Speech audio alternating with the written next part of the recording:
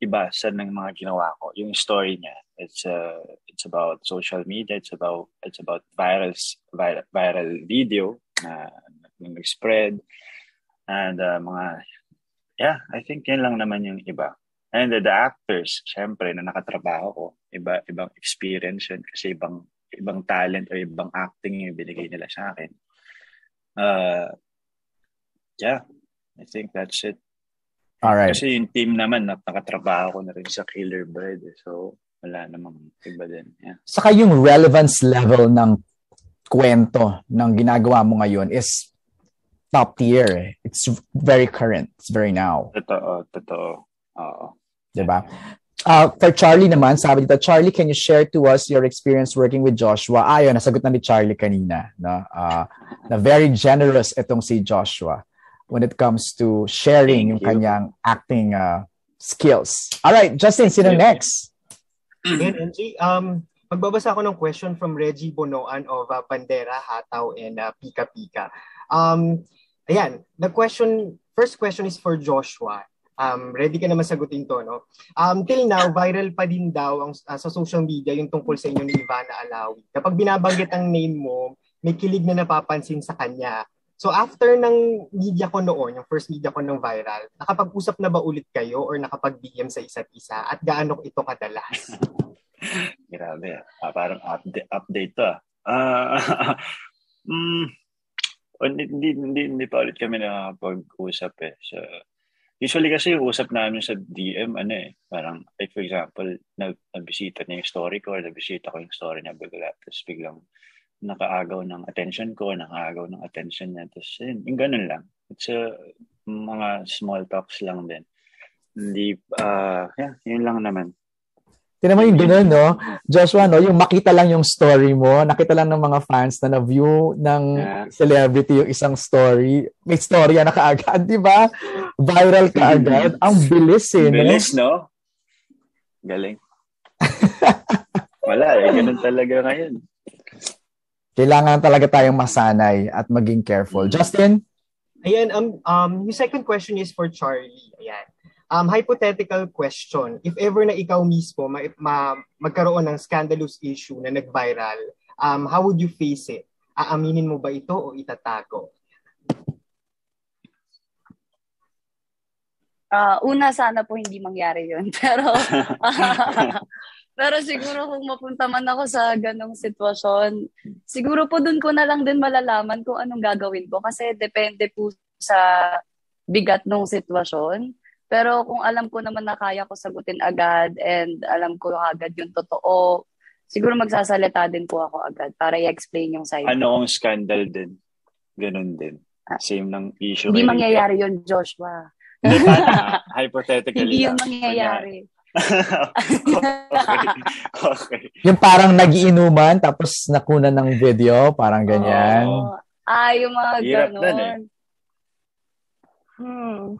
Who doesn't drink? I mean, who doesn't drink? Di ba? Uh, Parang... Yeah. Yung paligid lang talaga din yung mahirap. Opo, kung wala naman talagang mali, feeling ko, Mm-mm. May diba? explain ko naman din po yung sarili ko. Kung may ginagawa kang kakaiba habang umiinom ka, then that's the problem. Pero yung simpleng umiinom ka lang, I don't think that's nothing. Oo, oh, okay lang yun. No? Oh. Opo. Ay, nako. Ay, ako yung sumagot para kay Charles. Ako yung umabugado. pero parang, Thank you, Sir MJ.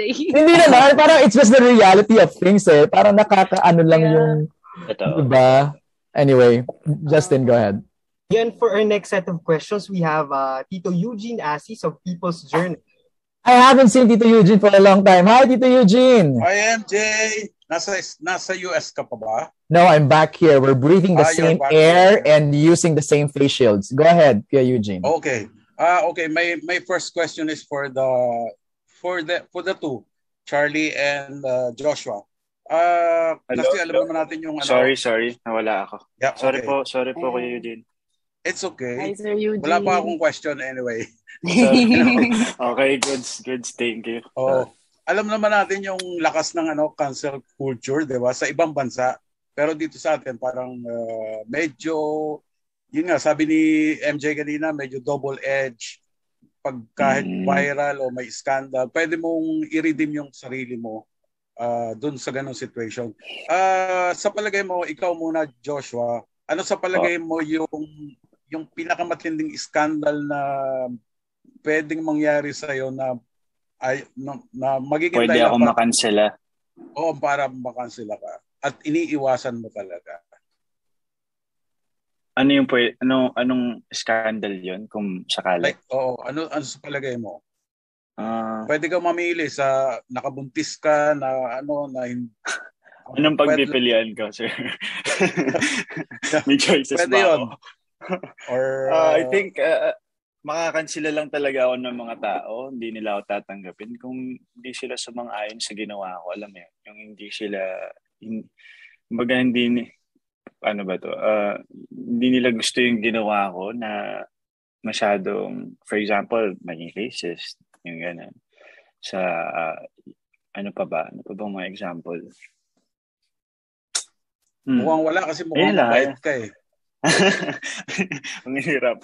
Pero yun po, I think makakansela lang talaga ako kung may gagawin akong masama na hindi nila magugustuhan na talagang mababother yung yung pagkatao nila na bakit ginawa niyo yun? Parang ganun. Yeah. I think yun lang po. Thank you. Okay, si Charlie naman na mas exposed sa ano sa Korean culture. Ano?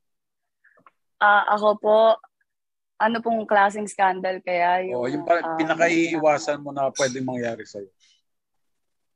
Ah, uh, siguro po ano, kapag halimbawa may nasabi akong hindi maganda or yung halimbawa kasi ang bilis ko mag-isip masyado tapos nasabi ko bigla, parang ganyan. So, siguro y- yun po yung iniiwasan ko yung may maka-offend tapos kumalat na gano'n na parang nabastusan sa akin, ganyan. So, yun na lang po siguro. Wala po ako maisip na scandal talaga na pwedeng mangyari. Oo, pero uh, ang usual naman yung mga out of wedlock na pregnancy, di ba? Ah, uh, opo. Pinaka-common. Okay. I mean, kung mangyari naman po yun, feeling ko hindi naman po scandal for me yun. Parang oh, okay. it's meant to be siguro to happen. So, ayun po.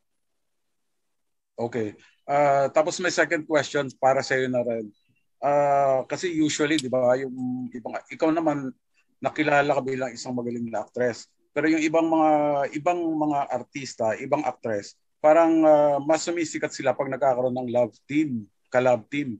Uh, so ang question is, would you rather be popular on your own or have a love team na katulad ni Joshua?